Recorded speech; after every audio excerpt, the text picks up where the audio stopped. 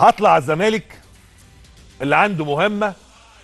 هنعمل switch بقى في في الكلام لأن أنا عندي خد بالك يعني عندنا السنة دي أهلي وزمالك final وخد بالك أحلى أحلى سنة في التغطية الإعلامية لما يوصل عندك الناديين الكبار والعظيمين دول والقدرات الضخمة دي بالجماهيرية العظيمة ده بالتاريخ ده دول دول أكتر ناديين متربعين على شعبية الكورة. في الوطن العربي كله وفي أفريقيا أهلي والزمالك.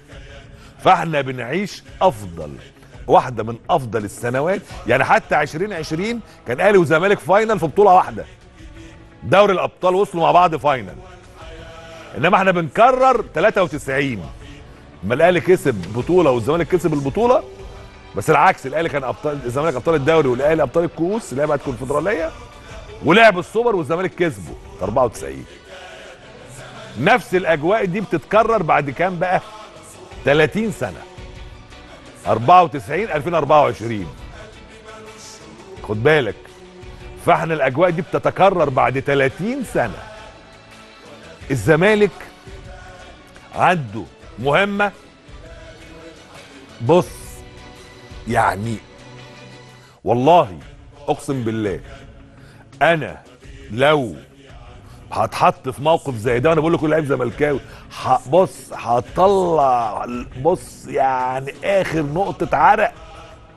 مش هبخل لا بتركيز ولا بمجهود ولا بعرق ولا علشان خاطر أعيد هذا النادي العريق للصدارة الإفريقية مرة أخرى. أنت في إيديك شيء اتحط في إيديك حله في إيدك. يا كل لاعب في الزمالك الحل في إيدك انت. الاهلي كسبان بطولات كتير على فكرة. وشبعان بطولات كتير ورغم كده تلاقيه مفجوع بطولات. مش جعان. عارف بيقول لك بيقول لك ده مفجوع. ما بيزهقش. الزمالك داخل على الفاينل. خلاص بينك يا حبيبي وبين التاريخ خطوة. خطوة. والنهارده مصطفى شلبي نزل التمرين وشارك في التمرين في التمرين الجماعي زي ما قلت لكم. يعني حتى الناحية بتاعت الشمال اللي كان فيها القصة دي اتحلت. ويلعب مصطفى شلبي. تقول لي أصله 70% أصله محتاج لا يا عم ده فاينل ما فيهوش هزار. يقول لك أصل المدربين الأجانب اللعيب لازم يبقى واخد له دورة معينة وجائز مليار في المية. لا يا عم. لا سامسون نفع في الحتة دي ولا أحمد حمدي نفع في الحتة دي ولا نضاي نفع في الحتة دي. فالحتة اللي كان فيها قصة اكتملت خلاص. النهارده زيزو الواد اللي عنده تسع سنين اللي بعت له الرسالة وجابه قعد معاه النهارده وفي الاستاد وفي بتاع في النادي و... مشهد لما تشوفه قمة التأثير. لما الصور نزلت طفل عنده تسع سنين أهو. الرسالة اللي اللي. اللي زعناها لكم امبارح اللي زيزو حطها على الستوري طفل عنده تسع سنين قال له أنا بحبك قوي بكل مشاعر عفوية. ده لسه مشاعر خضراء قال له أنا عايز الكونفدرالية وأنا آسف لإزعاجك. أنا طفل عندي تسع سنين. بعت له رسالة زيزو حطها story وقلبت الدنيا على ال social. أهو الطفل أهو. أهو زيزو كاتب له قال له حبيبي نورت النادي. هذا الطفل بص السعادة اللي هيعيشها بالفوز باللقب الطفل والأب والأم وكل زملكاوي في هذا الجمهور العظيم هيعيش حالة مختلفة وخير تعويض.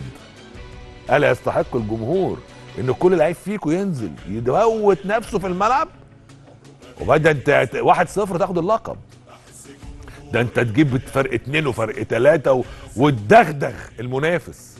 فنيا.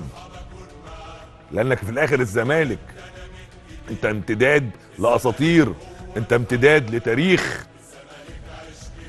كلام الزيزو والجزيري والشلبي والدونجا والشحاته والأحمد حمدي والعواد والفتوح والعمر جابر والمسلوسي والحسام.